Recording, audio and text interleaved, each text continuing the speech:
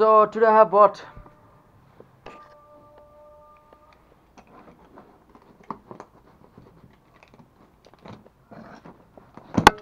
since I'm holding the camera with my one hand so it's a little difficult for me to cut this box.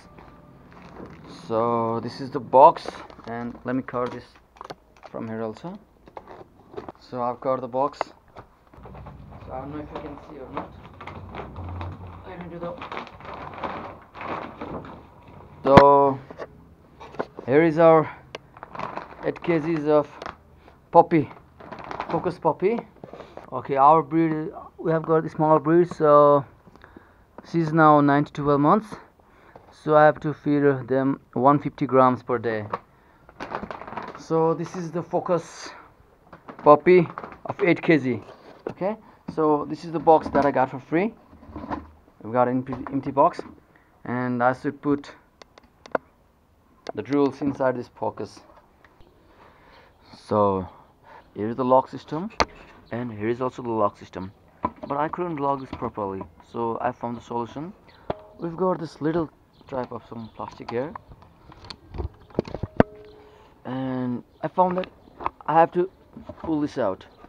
Because if I don't pull this out the system will not lock. So mm, okay pull it like this. Okay. And this will come. And after this if I put the lock then the bucket becomes now airtight. So this is how you put the focus inside this bucket. So this is it. This is how we do. So so now I'm going to do a unboxing of this 8 kg uh, puppy Drools so what I found is that in this box in this packet the there is no zipper. Uh, zipper used to be in this line but in this 8 kg packaging there is no zipper. So I guess I have to open I'll have to open it from here by pulling this. So let me so I have uh, opened the packaging. Uh, I can see and smell the Drool grains from here. And uh, for comparison I've also uh, bought starter focus. Uh, this is of 2.6 kg I think. So let's compare the grains. So this is from um, starter.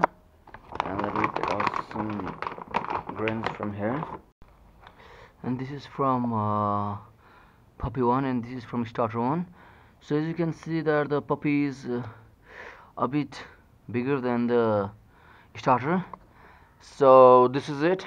So this is the unboxing of 8 kg of royal puppy. So thank you for watching and if you like this video please uh, do press the like button and please subscribe to my channel. And thank you. Thank you for watching